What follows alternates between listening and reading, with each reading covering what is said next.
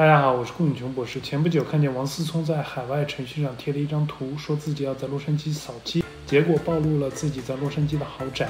我查了一下，房子购买价格是三千两百万美金，五个浴室，九个卫浴，共占地面积一千六百五十九平方米，光室内面积就达到了一千多平方米，是由美国设计大师亲自打造。二楼的客厅可以荡秋千，家庭影院，卧室可以俯视整个洛杉矶，太豪华了。